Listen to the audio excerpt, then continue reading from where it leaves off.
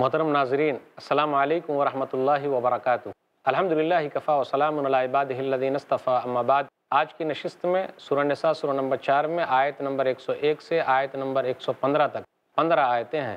हौज़बिल्लिमिनशैतानरजीम बसमीम वज़ा ज़रब तुम फ़िलअर्ज़ फ़लैसम जुनाहन तकसरमिनसलाह इन खिफ तुम अयफ़तनकुमल्लिन कफ़रू। इन अलकाफ़रीन कानूलकुम अदू मुबीना। और जब तुम ज़मीन में सफ़र करो तो तुम पर कोई गुनाह नहीं कि तुम नमाज़ कसर कर लो। अगर तुम्हें डर हो कि काफिर हमला करके तुम्हें फितने में डाल देंगे, बेशक काफिर तुम्हारे खुले दुश्मन हैं।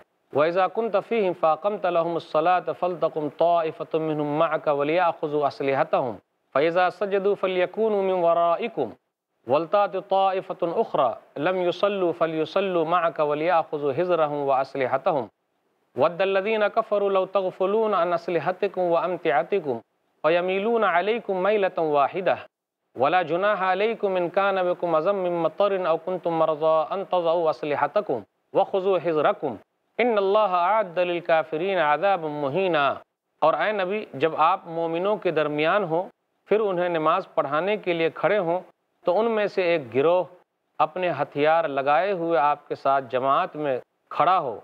फिर जब वो सजदा कर ले तो पीछे चला जाए। और दूसरा गिरोह, जिसने अभी नमाज़ नहीं पढ़ी तो वो आपके साथ नमाज़ अदा करे और वो अपना बचाव और अपने हथियार लगाए रखे। काफिर चाहते हैं कि तुम अपने हथियारों और अपने सामान की तरफ़ से ज़रा गाफिल हो जाओ। तो वो, तुम पर यकबारगी धावा बोल दें, और अगर तुम्हें बारिश से तकलीफ़ हो या तुम बीमार हो तो तुम पर कोई गुनाह नहीं। कि अपने हथियार एक तरफ़ रख दो और अपना बचाव साथ लो। बेशक अल्लाह ने काफिरों के लिए रसवा कर देने वाला अजाब तैयार कर रखा है। फ़ैज़ा कज़ई तुम सलात फ़स्कुल्ला क़ियाम वक़ूद वाला जुनूबिकुम फ़ैज़त मानन तुम फ़ाक़ीमसलाह इन सलात कान तरमिन किताब मौकूता। फिर जब तुम नमाज़ अदा कर चुको तो खड़े हुए, बैठे हुए और लेटे हुए हर हाल में अल्लाह को याद करते रहो। फिर जब तुम्हें इत्मीनान हो जाए तो पूरी नमाज़ पढ़ो। बेशक मोमिनों पर मुकर वक्तों में नमाज़ फ़र्ज़ है। वला तहन फ़िफ्तगाक़ौम इन तकून तालमून फ़िन यालमून कमा तालमून। व तरजून मिन माला अर्जुन वकान अल्लाह अलीमन हकीमा।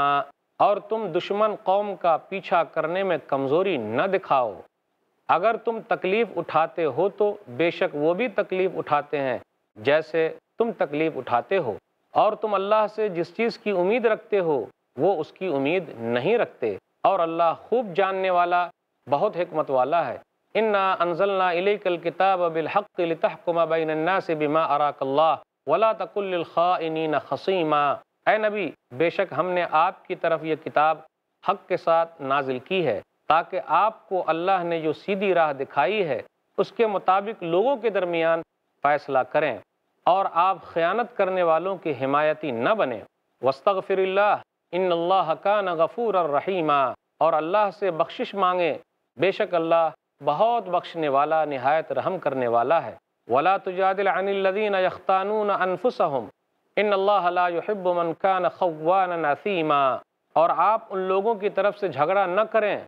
जो अपने आप से ख़यानत करते हैं, बेशक अल्लाह उस शख्स को पसंद नहीं करता जो ख़यानत करने वाला गुनहगार हो। यस्तफ़ून मिनन्नास वला यस्तफ़ून मिन अल्लाह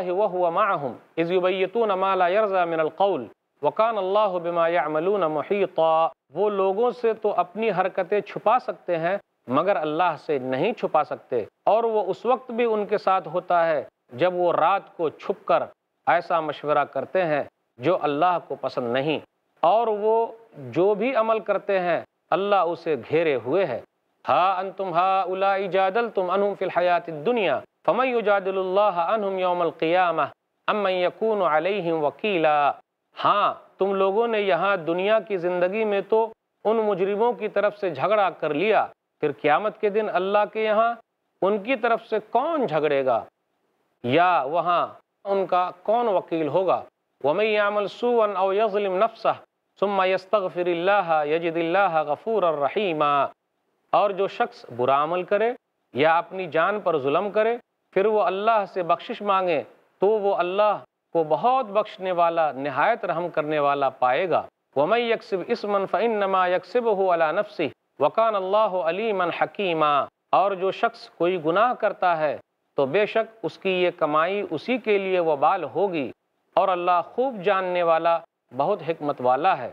वमई यकसिब ख़तीतन और इसमन सुमयर में भी बरी अनफ़द तमल बहतान व इसम मुबीना।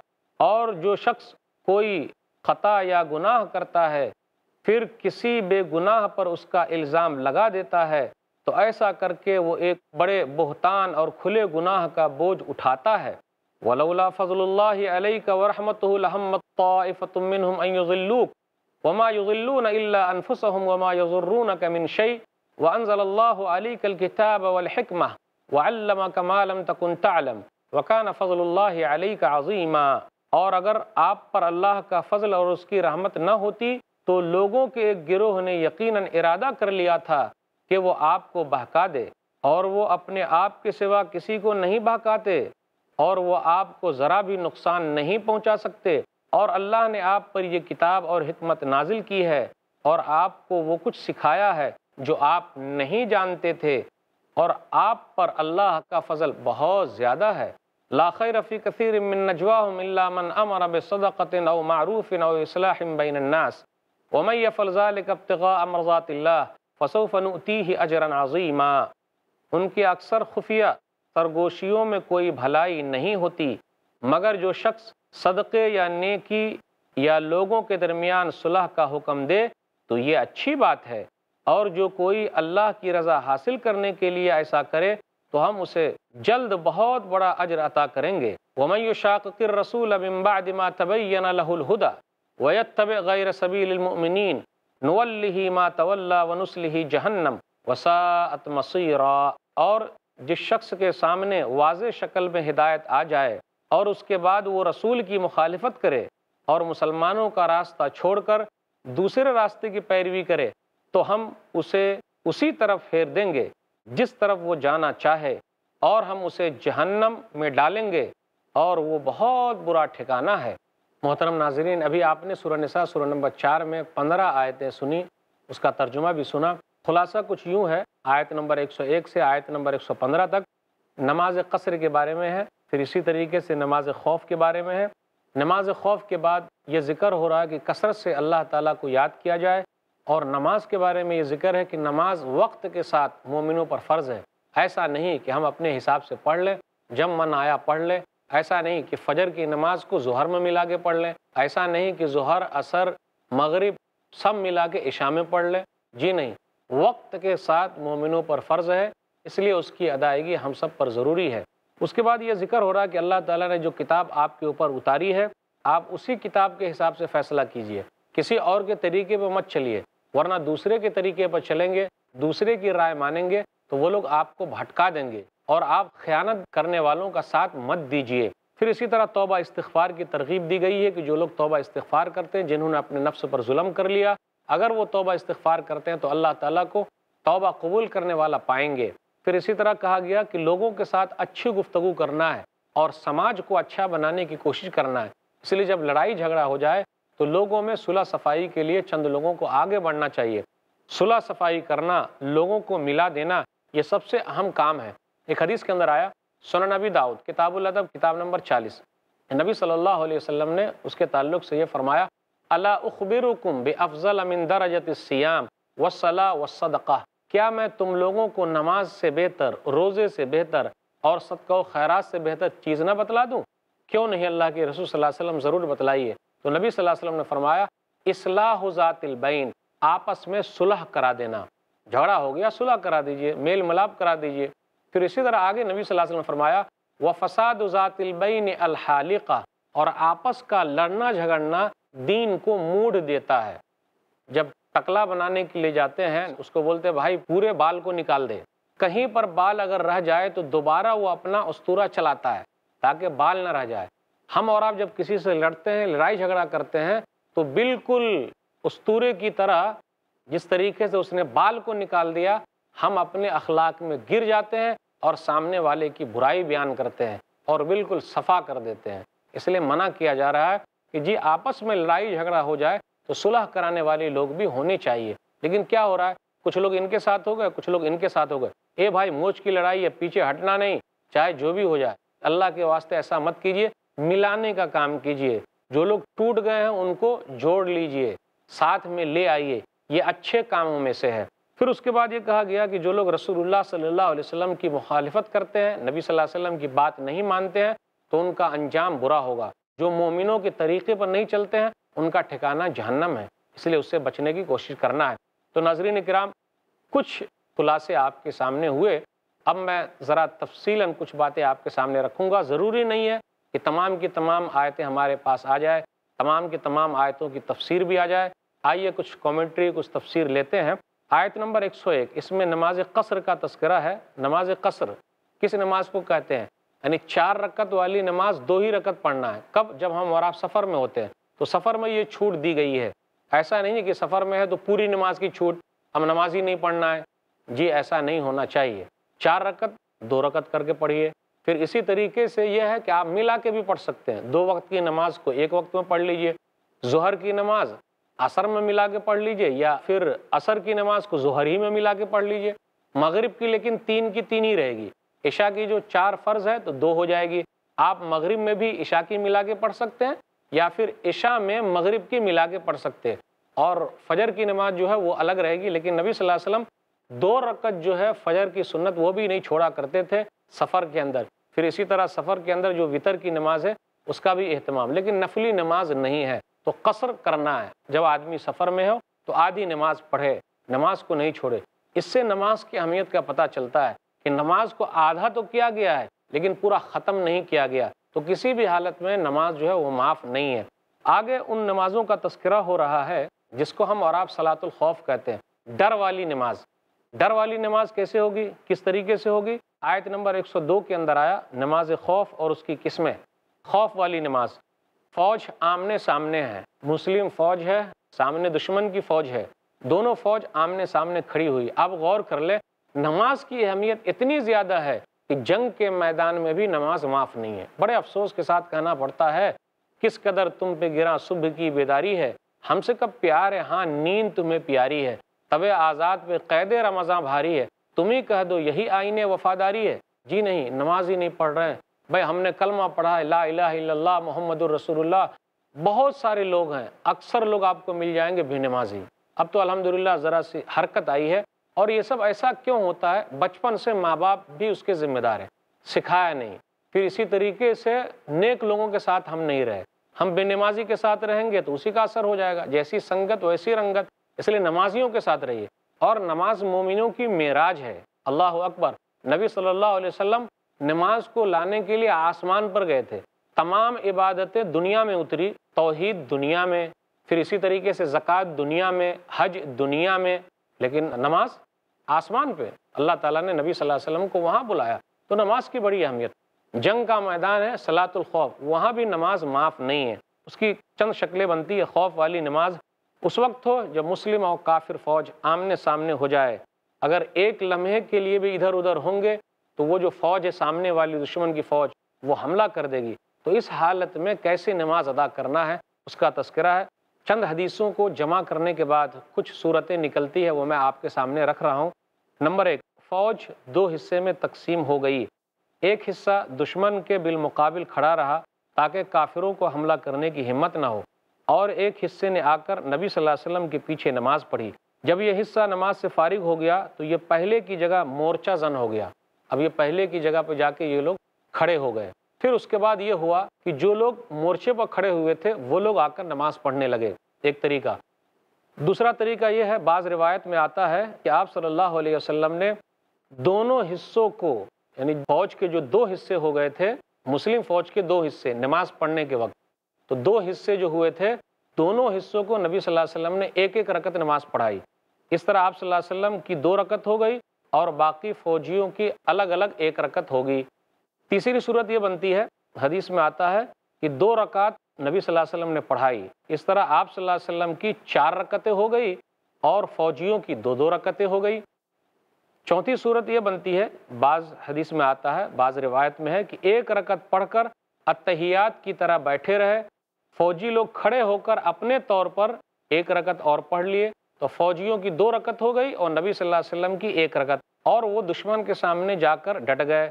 दूसरे हिस्से ने आकर नबी वसल्लम के पीछे नमाज़ पढ़ी। आप वसल्लम ने उन्हें भी एक रकत पढ़ाई और अतहियात की तरफ़ बैठ गए। और उस वक्त तक बैठे रहे, जब तक के फौजियों ने दूसरी रकत पूरी नहीं कर ली, फिर उनके साथ आप सल्लल्लाहु अलैहि वसल्लम ने सलाम फेर दिया। तो आप सल्लल्लाहु अलैहि वसल्लम की भी दो रकत और फौजियों की भी दो रकत हो गई। इस तरह आप सल्लल्लाहु अलैहि वसल्लम और वो दोनों दो दो रकत पढ़ के उड़ गए। आगे ज़िक्र हो रहा है, आयत नंबर 103 104 में नमाज़ खौफ के बाद कसरत से अल्लाह ताला का ज़िक्र करना है। फ़ैज़ा कज़ई तुमसलात फ़स्कुल्ला क़ियाम वक़ूद वाला जुनूबिकुम। नमाज़ वक्त के साथ फ़र्ज़ है, अपने अपने हिसाब से वक्त को नहीं बनाना। लोग अपने हिसाब से नमाज़ को मुतन करते हैं, अपने हिसाब से नमाज़ पढ़ते हैं। जी नहीं, अपने काम को नमाज़ के हिसाब से सेट करना है। अपने काम के हिसाब से नमाज़ को नहीं सेट करना है। हदीस पर गौर करें सही बुखारी, किताब मवाक़ सलाह, किताब नंबर नौ, बाब नंबर पाँच, बाब फजल सलाह, तिल वक्त है, हदीस नंबर पाँच सौ सत्ताईस। अब्दुल्ला बिन मसूद रज़ी अल्लाह तु कहते हैं साल तो नबी अलैहि वसल्लम, अय्युल अहब मैंने रसूलुल्लाह सल्लल्लाहु वसल्लम से पूछा कि अल्लाह के नज़दीक सबसे पसंदीदा अमल, महबूब अमल अच्छा अमल कौन सा है? तो नबी सल्लल्लाहु वसल्लम ने फरमाया असला तो अला वक्त नमाज़ को वक्त पर पढ़ना, सिर्फ़ नमाज़ पढ़ना नहीं, नमाज़ को वक्त पर पढ़ना, वो मोमिन नहीं है जो नमाज़ नहीं पढ़ता, जो नमाज़ पढ़ता वो मोमिन है, लेकिन वक्त पर नमाज़ पढ़ना अल्लाह को ज़्यादा पसंद है। वो भी अव्वल वक्त में नमाज़ पढ़ना। काला, रावी ने कहा सुमायुन फिर कौन सी बात अल्लाह को ज़्यादा पसंद है? बिरवालदेन माँ बाप के साथ एहसान करना माँ बाप के साथ भलाई करना, तू तू मैं मैं नहीं करने का। माँ बाप के साथ जबान नहीं लगाने का, इज़्ज़त के साथ रहना, एहतराम के साथ रहना, उनके लिए फ़िक्रमंद रहना, उनके लिए कोशिश करना। अल्लाह ताला इन कामों से बहुत खुश होता है। फिर आगे कहा, कौन सा काम? अल जिहाद फ़ी सबील्ला अल्लाह के रास्ते में जिहाद करना। अब देखिए, जिहाद फ़ी सबील्ला से बेहतर दो चीज़ हो गई। वक्त पर नमाज़ पढ़ना और माँ बाप की खिदमत करना। तो ये हालात के अतबार से बातचीत बनती है और जिहाद फ़ी सबील्ला अगर इमाम वक्त ने बोल दिया कि जी, सबको हाजिर होना है तो उस वक्त ये सबसे अहम चीज़ हो जाएगी। फिर जब नमाज़ मुकम्मल हो जाए तो लोगों को अपनी रोज़ी रोटी तलाश करनी चाहिए। एक दूसरी आयत है सुरह जुमा सुर नंबर बासठ, आयत नंबर दस, फैज़ा खुजियत सलाह फ़न तशरफ़िलर्ज़ वब तगो मिन फ़ज़ल्ला वस्कुरल्ला कसीर अल्लाकुम तुफलहून। जब नमाज़ पढ़ लो तो ज़मीन में फैल जाओ और अल्लाह का फ़ज़ल तलाश करो, यानी रोज़ी रोटी में लग जाओ। सिर्फ़ मस्जिद में बैठ कर अल्लाह अल्लाह करना नहीं। नमाज़ पढ़ लिए, निकलिए। रोज़ी रोटी की तलाश में लग जाइए, मेहनत कीजिए। अल्लाह ताला को बहुत ज़्यादा याद करो, शायद कि तुम लोग कामयाब हो जाओ। उसके बाद ये ज़िक्र हो रहा है कि ज़ख्मी होने के बावजूद दुश्मन के ताक़ुब की तरगीब दी गई है। जब तुम ज़ख्मी हो गए हो, लेकिन फिर भी दुश्मन के पीछे जाओ। ये ज़्यादा अहम चीज़ है ताकि वो लोग डर जाएँ और वापस दोबारा ना आ सकें। गजब अहद जो तीन हिजरी में है, मुसलमानों को तकलीफ़ पहुँची, लेकिन उसके बावजूद भी कहा गया कि तुम लोग अपने दुश्मनों का पीछा करो, क्योंकि तो तुमको तकलीफ़ अभी पहुँची है। इससे पहले गजब बद्र में उन लोगों को तकलीफ़ पहुँच चुकी है। ई एम सस्कुम कर फ़कत मसलकुम कर मिसलू। सुराल इमरान, सुर नंबर तीन, आयत नंबर 140 तो जिहाद फ़ी सबील्ला में बहुत सारी तकलीफ़ें होती है। आदमी को तकलीफ़ उठाकर ये सब काम करना है तो उसे बड़ा फ़ायदा हासिल होता है। आयत नंबर 105 से आयत नंबर 109 के दरमियान है, अल्लाह की नाजिल करदा किताब के मुताबिक आपको फ़ैसला करना है, किसी और के हिसाब से आपको फ़ैसला नहीं करना है। इन्ना अनजल्ला किताब बिलहक लितहकुमा से बिमा अराकल्ला असल में इसका एक शान नजूल भी है, एक हदीस के अंदर आया सही बुखारी किताबुलहकाम किताब नंबर तिरानवे, हदीस नंबर सात हज़ार एक सौ इक्यासी उम सलमा रज़ी अल्लाह तहा कहती हैं कि अलैहि वसल्लम ने अपने घर के दरवाजे पर झगड़ा सुना। तो नबी वसल्लम आए और कहा इन नमा अना बशरुन, बेशक मैं बशर हूँ। व इन नहू यातीन अलखसम मेरे पास झगड़े आते हैं। फ़लाल लबाज़कुम यकून अब लगा मिनबाज तुम में से बाज बाज से ज़्यादा चर्ब ज़बान है। फ़ासब अन सादिक तो मैं समझता हूँ कि यही सच बोल रहा है। फ़ी लहू का तो मैं उसके हिसाब से फ़ैसला कर देता हूँ। फ़मन कज़ई तो लहू बेहक मुस्लिम अगर मैंने उसको किसी मुसलमान का हक दे दिया फ़ैन नमा ही अक़ीत नार तो मैंने उसको जहन्नम का एक टुकड़ा दिया है। फलिया खुजहा और लियत रुकहा तो चाहिए कि वो ले या चाहिए तो उसको छोड़ दे, न ले। तो कुछ लोग ऐसे भी होते हैं जो अपनी चर्व जबानी की वजह से अपना केस जीतने की कोशिश करते हैं। लेकिन किसी का हक जो है, वो हक रहेगा। किसी की चर्ब ज़बानी की वजह से, ज़बान ज़्यादा चलने की वजह से और अपना दाव पेंच ज़्यादा चलने की वजह से ऐसा नहीं है कि वो किसी का हक मार लेगा।